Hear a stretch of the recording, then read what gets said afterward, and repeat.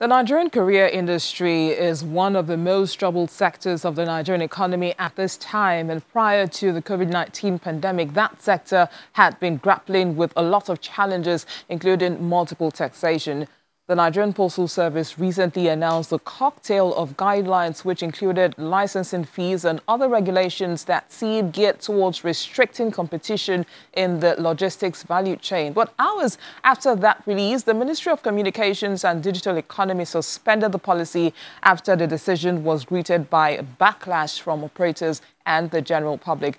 One of the private sector entities that has raised concerns over the regulation is the Lagos Chamber of Commerce and Industry that identified other fundamental regulatory issues beyond that of the licensing fees. But joining me now to speak to some of these concerns is the Vice President of the Association of Nigeria Courier Operators, Jumoke Imasue. Good morning and thank you for coming on the program. Good morning, Chinese in MBC, actually. Okay. Well, all right, so let's begin the conversation now. Of course, since uh, the Minister of Communications and uh, Digital Economy suspended NIPOST's recent policy, what has the logistics and the courier services atmosphere looked like? Have operators now uh, regained their confidence? Um, thank you for having me here. Um, we have actually still been going through and discussing a lot of these policies. And um, it's not just us alone. We have another courier association, the International Air Courier Aviation as well, NIACA.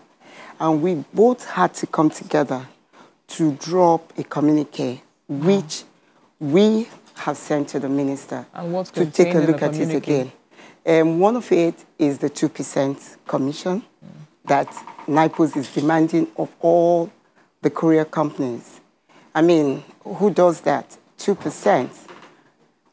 You don't even know if that courier company has even broken even mm. in that particular year. And they're asking for 2% of the total earnings of that courier company. And don't forget that the economy isn't doing very well. And it is also affecting our sector as it is. And we also have so many taxations that we pay, levies, you know, either by the local government, by the state, state government, and now the federal government. So we're actually coming up, or we've come up with some, you know, suggestions to the ministry on the way forward for the sector. But apart from the 2%, what other area of um, concerns? Well, in, in, in one of the policies that was just signed by NIPOST is actually asking that courier companies cannot take on or deliver items of, um, you know, the the annual reports, stuff like annual reports, share certificates, mm -hmm. dividend warrants, and mm -hmm. all of mm-hmm. that. Things to do with the capital market. And we are looking at it like this is an economy that should be free, the customers have a right to choose who they want to ask mm. to do their business for them.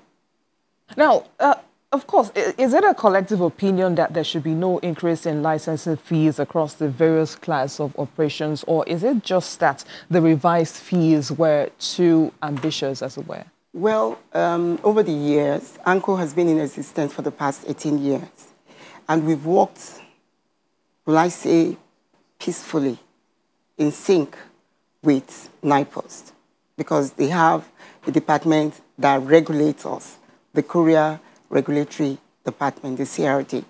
And we've worked, you know, in harmony with them over these years. We actually pay a renewal fee of 352,500 naira every year to renew our license. And what I find so or what association ANIACA has found, found so troubling is the fact that there was a time that NIPOST actually had about 290 licensed courier companies in this country. As at April this year, they are down to 150. And why is that? And they haven't come up to ask the stakeholders, us, mm. to say to us what could be the challenges that you're having in the sector.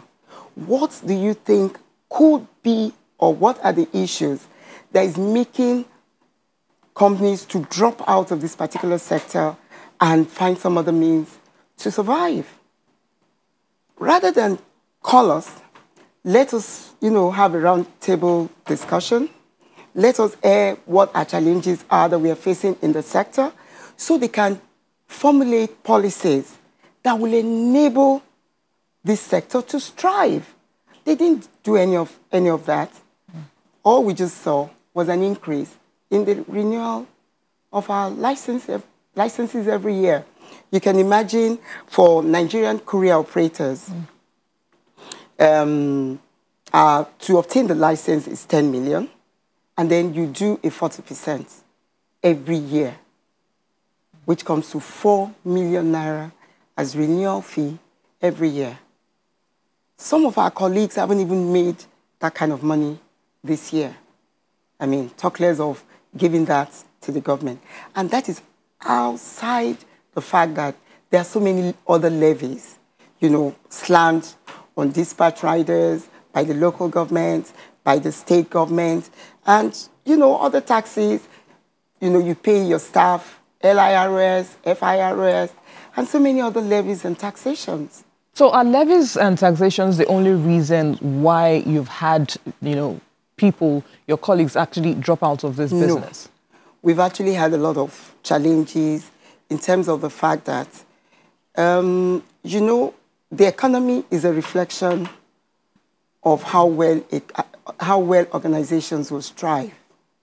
And as companies go down, they are really no more packages from those companies that have closed down.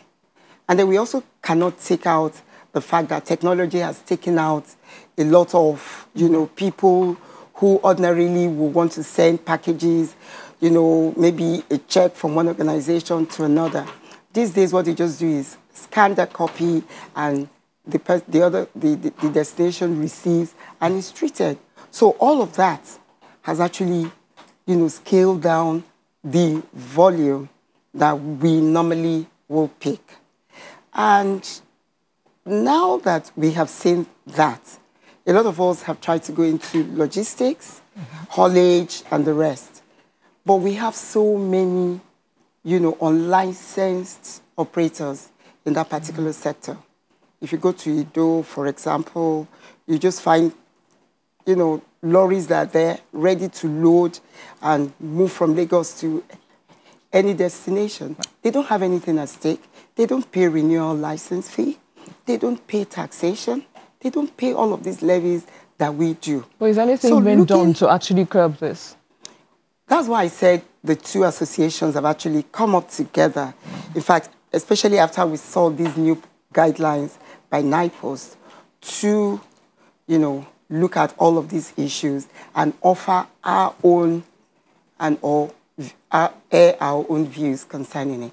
Now, let's still talk about the tech now. Tell us, what has the, the impact what? of uh, the tech, tech-oriented industry, okay. I mean, talking about yeah. it now, what has the impact of NIPOST regulations actually had on some of the startups, the tech startup in the courier industry? Uh, for example, the likes of Max or NG. we have GoCarrier, and even uh, Wayhailing, which recently suspended operations in Lagos? Um, well, like we have always said, the market is big enough for everyone to strive in.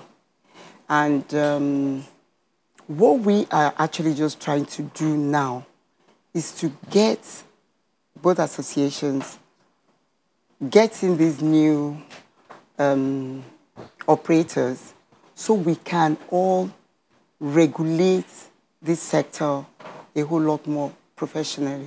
And talking about regulation obligations and uh, the social services delivery voluntary requests from the service, it looks like operators are actually not so bothered about that, but instead want more clarity as to the definition of those clauses. Um, well, if you look at, I mean, what the government is saying, if they had carried us along as stakeholders, and we feel like, oh, all the policies that is being set out is actually to see the growth of this industry. Of course, we will come out there's nothing wrong in taking up social responsibilities. But when you feel that the government, the policies that they've set out to regulate us is actually anti-growth, there's no way you want to feel like you have any obligation towards fulfilling such. But one of the arguments that NIPOST will put up is the fact that the new regulations were meant to weed out bad eggs and uh, improve consumer confidence in this sector. How? Can I throw that back at you? You tell us. How? Because they have actually not taken us in. We are the ones, I mean, there's a parable that says, it's he who wears the shoes that knows where it pinches. Mm. They haven't called us to ask, what are the issues? What are the challenges? So how would they just sit in the comfort of their office and draw up this for us? There are so many ways that you can wield out, you know, the unprofessional people, which is exactly what the associations are actually trying to do. Mm. You need us to wield away the unprofessional operators in the sector. And what are some There's of no the ways? Can, what are some of the that. ways that this could be done? Well, we had actually been talking with them prior to these guidelines that we need them to register and not just register, a whole lot of you know, investigation needs to be put into it. Where are the offices? How um, experienced are they? What kind of security can they profile? You know, before we can allow them or entrust customers to take a package from origin to destination. But how do we enforce all of this? we, like I just said, we have actually been, you know, we've worked out all of these modalities, how we want them to be registered. They must have an office that can be visited. Mm. They must have a certain number of staff. They must have a certain number of, you know, machinery and all of that put in place to, for us to feel that, yes, they can actually do the work professionally and, and, and, and well. Uh, if your members were to sit with NIPOST now as an association, would you call for a total overhaul of the Postal Service Act that uh, operations should be left uh, status quo? Um, well, you, you know, the, the thing is um, NIPOST is our regulator and they're also a player. Mm -hmm. So it becomes pretty difficult when you have somebody who has dual role, the player and the regulator.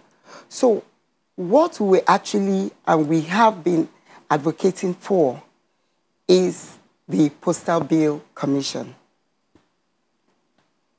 About um, two, three years ago, we actually had um, a hearing at the Senate, and um, a couple of things we adjusted in the postal bill. So we believe that if that postal bill is passed into law, it will give us an independent regulator, which will mm. also in turn, um, in, in, in turn regulate the NIPOST themselves. So that gives us a fair, equal playing ground.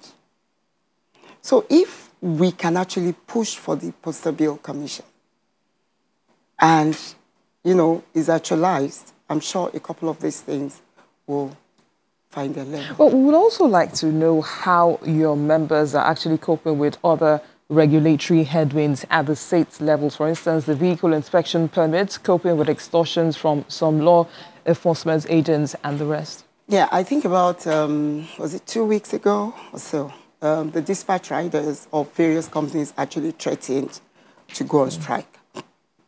And why is that? It, just what you just said about levies, you know, they just come up with something midway through the year. And um, our association has actually done a, a, a letter to Lagos State where we are asking that we need specific guidelines of what is required for the courier company and their dispatch riders to run on the road. We'd like to thank And we are you. waiting for that for the guidelines. So once that is done, we will know for sure that yes, when anybody accosts you on the road, you can say to them, mm. these are the guidelines. Please go through my documents. Tell me if there's any that is missing. All right, thank you. Vice President of the Association of Nigeria Courier Operators, Jumoke Imaswe. Thank, thank you for coming on Business Morning. Thank you. Do have a wonderful day.